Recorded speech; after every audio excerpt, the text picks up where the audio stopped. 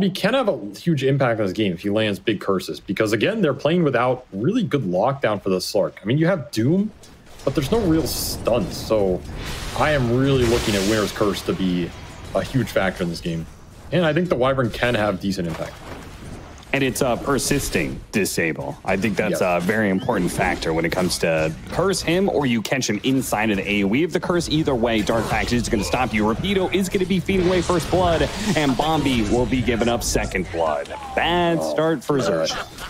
They, I mean, they were spamming nukes and scorched earth. Slark is worthless, so he's, he's just going to drain your stats, and he might just be dead again. If he's not dead, oh. he's going to be limping away on just a bit of HP. This is not looking good because I'm going to assume a this one, so, but blast off stun. Mine lands, blood grenade as well. Mikoto needs the mana, and he popped the wand. He had just enough spells. This is a little bit concerning for me that Talon is walking away with a bit of lead here, but this is a very important kill. They need this badly.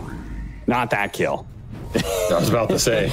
the other need to one. be given 23 more stats down here. Jeez, they're gonna try and battle for six minute rune, but they have the level six on Mikoto, and JG does not. It's a tough fight. Oh no, blast off onto Mikoto. Oh Another round of the astral steps is gonna pop both of them. Oh no. If you're Bombi. Oh yeah, they need it. Q is coming. They need it bad. Q is he going to blast off forwards? Is he going to go for the Doom? Looks like he's going to choose to go for the Wisdom Rune, and he secures it for himself, even missing the blast off of the Burbus. And 23 doesn't even need the help with the kill. They still get Bombi on top of that one. The other side, wait. Did Teehee steal? Oh, no, he didn't. Jabz got no. that one, too. Jabz got that and the kill. Oh, Once again, Power Rune's desperate for it, needs it, needs it bad, gets it, regen rune. Can he use it though? Mikoto has one more astral step to go, and they have a bramble roll on to JG. Can they finish him off? The blast off lands in time. He astral steps through Teehee, and they're gonna try and run him down too. They got axes to throw. Double kill. The Doom who can build auras. That's pretty crazy behind a Terrorblade. Nice dodge just, there, there. If only you had a Winter's Curse. JG's going to come in off of that regen rune. 23 has already shown so many stats, though. He's going to turn it back around on JG. Now on a Teehee, just chasing away all these heroes. Oh, nice the connection. off the step on in.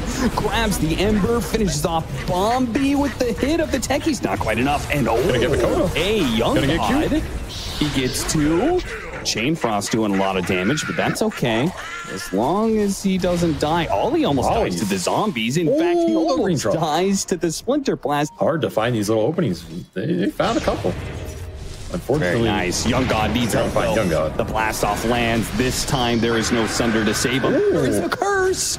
Oh, them all a perfect curse, setting up JG's rotation too. So both supports are going to die for this one. Ooh. And what was Young God on HP wise? That had to have been like 10 HP or less. Less than 10. That is an interesting itemization here. Blast off Skalan. Winter Wyvern dying to the magic. Oh no, the Chain Frost bounced over and finished him off. That is unfortunate for him. They take the tower and the support's life, and now they're going to start invading some of this area. The Wisdom Rune late game. They also have. Uh, oh, he might get the ult. Yeah, okay. this is holding the Doom. Can't dispel yeah, that, my friend. Straight up Doom, Slight, and a Chains would do it, but they don't even need that much. Slowed yep, down so much, he dies. EDM going, but it's just like some drunk guy hitting a drum. they're gonna do him. Have Tombstone out. That drum. Putting some damage on him. Glimmer staves him with the Depth Shroud. That is painful. Meanwhile, JG, he went for Ollie, but he can't really commit. Now with 23 Savage on him, maybe he can. Remnant on through. Not quite enough. Ollie stays alive. T he jumps out to finish him off with the decay. Get there's him in the, the curse. Air. There it is. Oh, there's the curse. Onto the Beastmaster, too. A lot of damage. A lot of it being blocked, though, by the Crimson Guard and the Ember Spirit thought it was his time to shine, time to pounce in, but denied immediately. A primal roar stops him in his tracks, and Xerxia now one lane of barracks left away from Megas and an early end to this game too, and it's up to Young God to repel them with a Sunder. Will do it at least momentarily, but Jabz keeps the beat going on and on and on. There is no end to the beat of this drum. I mean, there's some team fight hope there, but Jabz is just way too big and way too tanky. Even with 23 stealing all his stats, it just doesn't matter. Hop one miss, hop two lands, Rapido, blast off, finishes him off, Bombi crawling